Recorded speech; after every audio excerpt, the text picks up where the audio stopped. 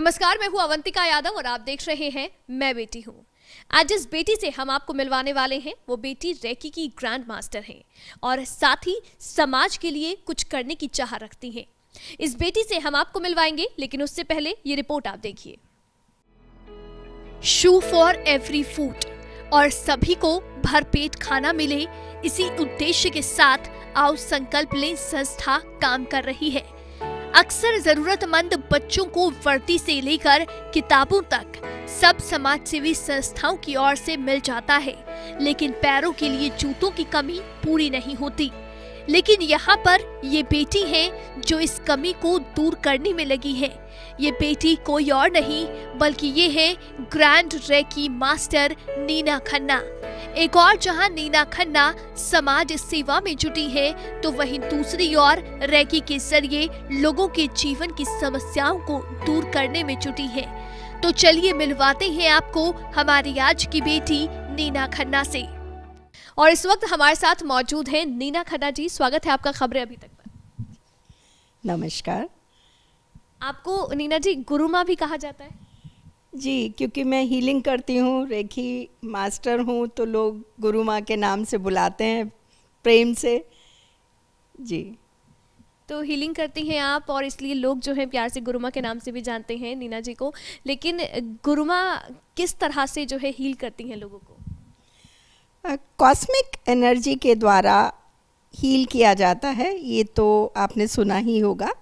रेखी एक ऐसी शक्ति है, जिससे हम किसी तरह की भी बीमारी फाइनेंशियल प्रॉब्लम्स स्ट्रेस जॉब में दिक्कत होना, बच्चों के लिए माइंड कंसंट्रेशन में प्रॉब्लम होना, या आपसी संबंधों में दरार आना और किसी भी तरह की ऐसी समस्या ना कि व्यक्तियों में ही बल्कि हम पेट में और प्लांट्स में भी रेखी दी जा सकती है। इसमें हम लोग आ, हमारे रोज़मर्रा के जीवन में इधर उधर की बहुत सी ऐसी घटनाएँ घटती रहती हैं जिससे हम आपस में बातचीत करते हैं तो कहीं ना कहीं कुछ ऐसी बातचीत हो जाती है जो नेगेटिव होती है और वो नेगेटिविटी हमारे आसपास इकट्ठी होती रहती है। तो रेखी क्या करती है? इस नेगेटिविटी को दूर करके आपके शरीर में सात चक्रा हैं। उन चक्रा को एक्टिवेट करती है और उसमें एनर्जी कॉस्मोस से ग्रहण करके ट्रांसफ़र कर दी जाती है। उससे सभी को लाभ होता है, स्वस्थ लाभ, खूबसूरती बहुत तरह की चीज़ें इसमें की जा सकती हैं। ये इतना वास्ट सब्जेक्ट है कि इसमें कोई अंत नहीं है। अगर मैं गिनवाना शुरू करूँगी तो बहुत समय इसी में लग जाएगा। आप जो चाहते हैं आपको उससे प्राप्त हो सकता है। लेकिन कैसे वर्क कैसे करता है? पहले तो हम लोग शुरू में टच हीलिंग से करते हैं। पहले तीन क्लासेस हम लोग तीन सेशन देते हैं। टच हीलिंग करते हैं। हाथ से हम रेकी शक्ति को उस व्यक्ति में ट्रांसफ़र करते हैं, जिसको जो बीमारी है, जिसकी जो समस्या होती है। जब उसको तीन सिटिंग में पता चलने लग जाता है कि उसको क्या फ़ायदा हो रहा है और उसकी समस्या के बारे में हम जान लेते हैं तो फिर हम उस पर विचार करके फिर हम उसको आगे का प्रोग्राम बना के उसको हील करते हैं।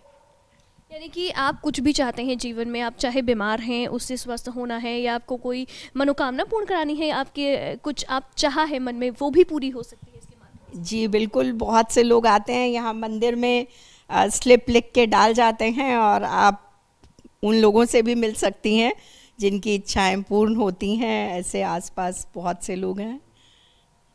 लेकिन इंसानों का, क्योंकि वो बात आपकी समझ सकते हैं और साथ ही जिस तरह से जो समस्या है, अगर आप कुछ जानना चाहते हैं, आपको जानकारी भी मिल सकती है। लेकिन आपने कहा कि पेट्स और प्लांट्स में भी ये वर्क करता है तो वो कैसे होता है? जी, बिल्कुल करता है।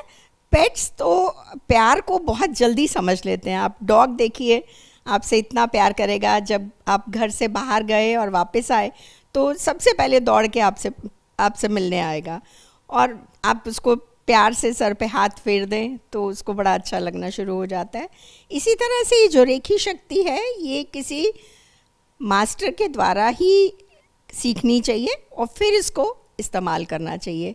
जब हम किसी मास्टर से इसको सीख लेते हैं तो ये शक्ति हमारे हाथों और पैरों से बहनी शुरू हो जाती है और फिर हम किसी भी चीज़ को अपने हाथों से हील कर सकते हैं। तो एनर्जी, वो शक्ति, वो रेज जो है हमारे हाथों से निकलती है। और हील कर। आपने कितने साल पहले इस रेकी के बारे में जाना और कौन आपके मास्टर थे? कैसे आपको पता चला इसके बारे में? मुझे तेईस साल हो गए रेकी करते हुए। मैं विदेश में थी अफ्रीका में। वहाँ पे प्रोफेसर चैतन्य अग्रवाल और मीना अग्रवाल उनकी पत्नी वो लोग आईटी यूनिवर्सिटी में प्रोफेसर्स थे। वहाँ मुझे इसके बारे में पता चला। आ, मुझे इसके बारे में ज़्यादा जानकारी नहीं थी लेकिन उनके पास जब मैं पहले ही दिन गई और मैंने उनको अपनी कुछ समस्याएँ बताई और तीन दिन के अंदर ही वो ठीक होनी शुरू हो गई तो मुझे लगा कि वाकई इसमें कुछ है। तो धीरे धीरे मेरा विश्वास बढ़ता गया। हालाँकि मैं गई तो किसी और के साथ थी लेकिन मेरा इंटरेस्ट बहुत ज़्यादा बढ़ गया और मैंने इसको सीखा उनसे। पहले मैंने फ़र्स्ट डिग्री करी सेकंड करी third third A B three masters फिर मैंने उनके साथ बहुत सारे कोर्सेज़ किए। और आज तो हम यहाँ पे क्लासेस भी करते हैं और रोज़ हीलिंग के लिए यहाँ पर मेरे पास लोग आते रहते हैं। और मेरे ख्याल से मुझे याद नहीं पड़ता कि सौ में से एक लोगों भी ऐसे आए हों जिनको कुछ ना कुछ फ़ायदा ना हुआ हो। मैं ये नहीं कह रही कि सौ प्रतिशत होता है ये आ, सामने वाली की उस स्थिति पे भी निर्भर करता है कि वो उसको कैसे एक्सेप्ट कर रहा है। हम तो देंगे हमारा काम है देना लेकिन सामने वाला उसको कैसे एक्सेप्ट कर रहा है उसके ऊपर भी डिपेंड करता है। ज़्यादातर लोगों की समस्याएँ दूर होती हैं और उनकी बीमारी ठीक हो जाती है। लेकिन किस तरह से आप अपने जीवन में बदलाव देखती हैं? जब आप रैकी आपने नहीं सीखी थी और सीखने के बाद में कितना फ़र्क आप खुद के जीवन में देखती हैं? मैं बहुत शॉर्ट टेम्पर थी, बहुत जल्दी इरीटेट हो जाती थी। यहाँ तक कि मेरा बिज़नेस था अफ्रीका में, मेरे शोरूम थे। वहाँ पर मैं शॉप में बैठी होती थी और अगर बारिश आ गई और मैं घर मेड को फ़ोन लगाती थी, जल्दी जाओ, कपड़े उतारो, भीग जाएँगे। हालाँकि ये कोई बड़ी बात नहीं है, भीग गए तो ठीक है, फिर सूख जाएँगे, लेकिन मैं इतना रेस्टलेस हो जाती थी कि मैं उसको पाँच छः कॉल कर देती थी, चाहे उसने उतार ही लिए होते थे। और बड़ी छोटी छोटी बात में खींच जाती थी, जल्दी से रेस्टलेस हो जाती थी। मैंने एक हफ़्ते की हीलिंग के बाद ही ये महसूस किया कि मैं बहुत शांत होती जा रही हूँ, काम हो रही हूँ। हमारे आपस के संबंध बहुत अच्छे हो रहे हैं, लोगों से, परिवार से, और मैं हंस के लोगों से और अच्छे से मिलने लग गई और मन लगा के हर काम को करना शुरू किया और मेरा बिज़नेस भी दिन ब दिन ग्रो होता चला गया। उसके बाद मैंने कभी पीछे मुड़ के नहीं देखा। तो इतना फ़ायदा आपको हुआ? लेकिन गुरुमा, आपने जिस तरह से बताया कि मेडिटेशन जो है, वो बहुत ज़रूरी है इसके लिए। नहीं मेडिटेशन भी नहीं कह सकते कि ज़रूरी नहीं है कि आपको सुबह मंदिर में बैठना है या टाइम फिक्स करना है कि आपको आधा घंटा यहाँ बैठना है मेडिटेशन रेकी एक बहुत सरल विधि है। इसको आप टीवी देखते हुए भी कर सकते हैं। आप इसको ट्रेन में जाते हुए, कार में जाते हुए तो भी आप कर सकते हैं। ये तो इतनी सरल और आसान विधि है कि आपने ज़रा सा याद किया और वो आपके साथ है। और जिस प्रकार से आप घुड़सवारी और तैराकी एक बार सीखने के बाद कभी नहीं भूलते, उसी तरह रेखी एक बार आप सीख लें तो जीवन भर आपके साथ रहती है।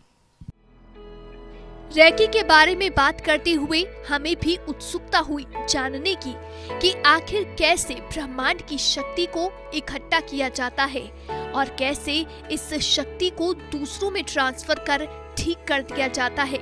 यही जानने के लिए और देखने के लिए हम नीना खन्ना के मेडिटेशन रूम में गए, जहाँ नीना खन्ना अक्सर ध्यान लगाती है और यहीं से ये बेटी उस शक्ति को एकत्रित करती हैं। जिसकी मदद से ये बाद में लोगों की समस्याओं का निवारण करती हैं।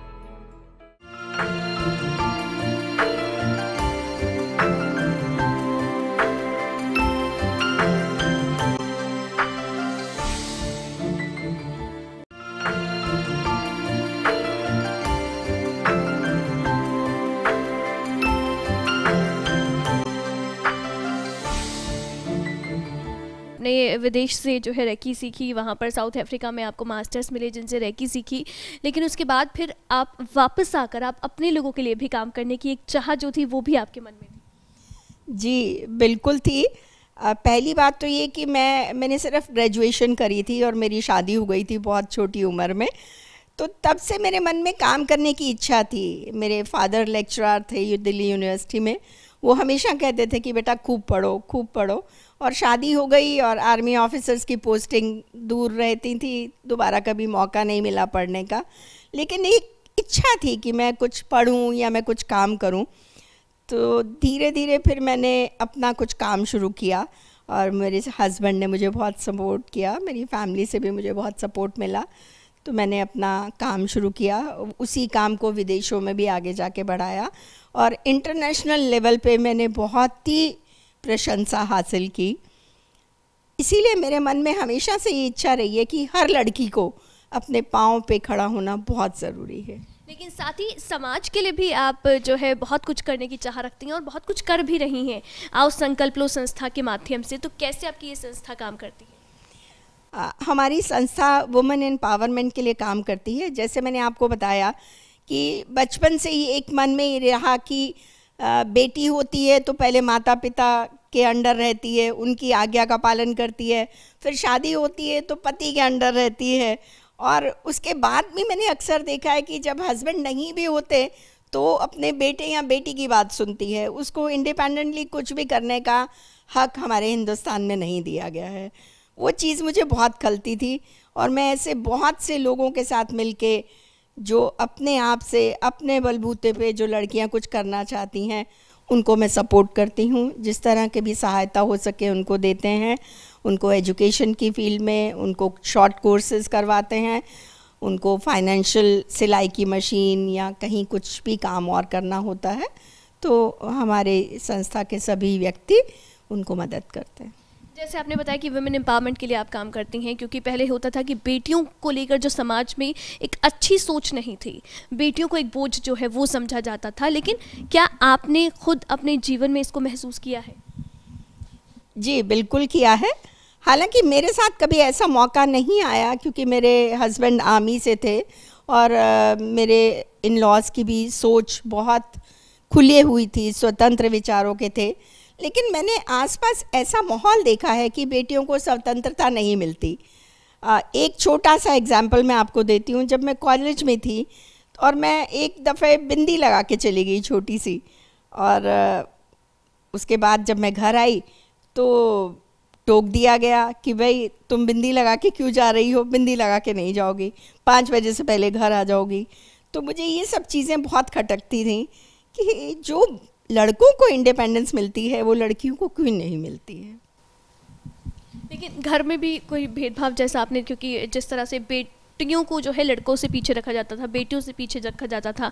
हालाँकि आपको समय दे दिया गया कि इतने बजे जो है वापस आना है लेकिन बेटे को बढ़ावा मिलता था वहाँ पर।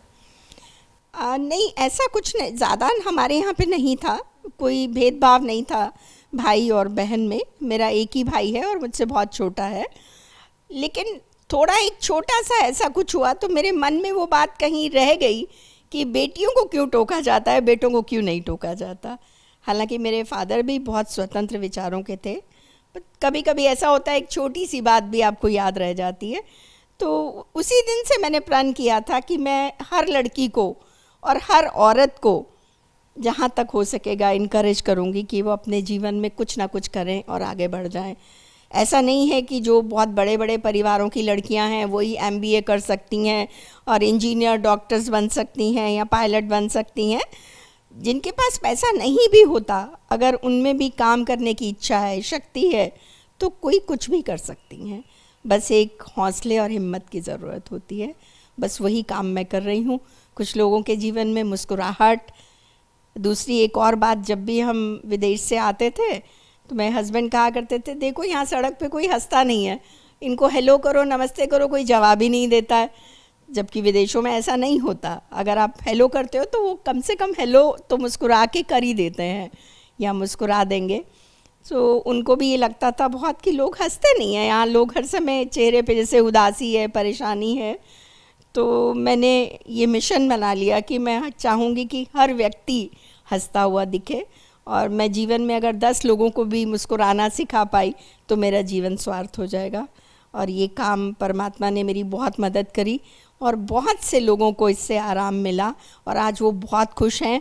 यहाँ तक कि पैंसठ, सत्तर साल की बूढ़ी औरतें जो स्टिक पकड़ के चलती थी और जिनके पैरों में प्रॉब्लम थी, आज वो बहुत खुश हैं, बहुत एक्टिव हैं हमारे यहाँ पे और बड़े अच्छे से जीवन को व्यतीत कर रही हैं।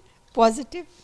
पॉजिटिवली जो है पॉजिटिव वे में जो है सभी अपना जीवन व्यतीत कर रहे हैं। लेकिन साथ ही क्योंकि आपने कहा कि सबके चेहरे पर एक मुस्कुराहट जो है, वो बिखेरना आपका एक प्रण था, जिसको आप पूरा भी कर रही हैं। वाकई में गुरुमा से मिलकर मुझे भी लगा कि जो इनका स्वभाव स्वभाव है, बहुत पॉजिटिव एनर्जी जो है, वो मिलती है आपको साथ में। आकर स्माइल आप खुद करती हैं स्माइल बिखेरने की आपकी कोशिश भी है साथ में। जी, बिल्कुल, मेरी पूरी कोशिश रहती है कि हर व्यक्ति मुस्कुराए। चाहे वो हमारे घर में काम करने वाले लोग हैं, या हमारे कंपाउंड में रहने वाले लोग हैं, या सड़क पे चलते हुए लोग हैं, मैं अक्सर किसी को रोक लेती हूँ और उसको पूछती हूँ, क्या हुआ तुम्हें? और उसके साथ दो, चार, पाँच मिनट व्यतीत करती हूँ, उसकी बात सुनती हूँ। अगर कुछ ना भी कर सकूँ तो उसको एक छोटा सा एक फल या एक बिस्किट का पैकेट दे दूँगी तो बच्चे के चेहरे पे मुस्कुराहट आ जाती है। मैं, मुझे वो बहुत अच्छा लगता है। बहुत अच्छा काम आप कर रही हैं नीना जी। लेकिन साथ ही आगे क्या कुछ तैयारी है? क्योंकि समाज के लिए जिस तरह से आपने कहा वुमेन एम्पावरमेंट के लिए आप काम कर रही हैं, बेटियों को पूरी कोशिश करती हैं आपकी, जो हर संभव मदद हो, वो आपकी तरफ़ से दी जाए। आगे क्या कुछ तैयारी है? क्या कुछ आप करना, करने वाली हैं आगे? मैं चाहती हूँ कि जिन भी लड़कियों को रहने की, पढ़ाई की, खाने पीने की सुविधा नहीं है, एक ऐसा संस्था बनाई जाए जहाँ पर कि उन लड़कियों को सहारा दिया जाए जिनका कोई नहीं है और उनके पढ़ाने की पढ़ाई से लेके उनकी जॉब तक का ज़िम्मा उठाया जाए और उनको इस काबिल बना के उनको समाज में एक उच्च स्थान दिलाया जाए।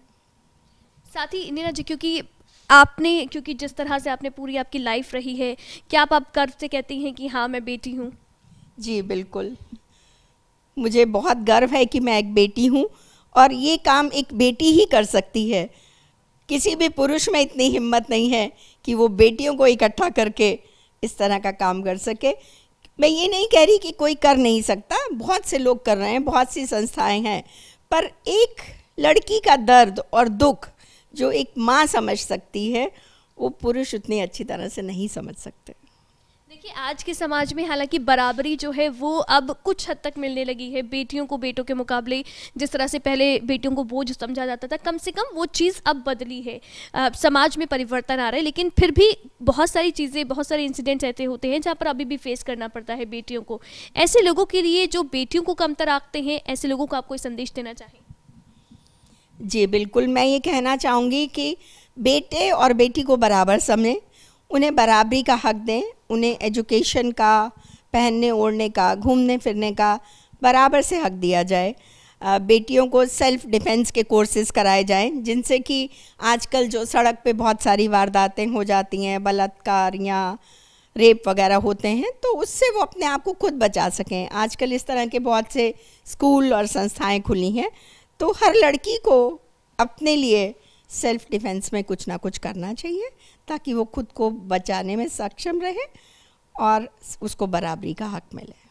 तो हर बेटी को खुद जो है सक्षम होना पड़ेगा, आत्मनिर्भर होना पड़ेगा, किसी के ऊपर आप निर्भर ना रहें, और उसके लिए ज़रूरी है कि आप खुद को इतना मज़बूत बना लें कि कोई आपको रोक भी ना सके। मैं बेटी हूँ, मैं आज के लिए बस इतना ही। अगले हफ़्ते आपकी मुलाकात कराएँगे एक और ऐसी ही बेटी से। फ़िलहाल दीजिए इजाज़त। नमस्कार।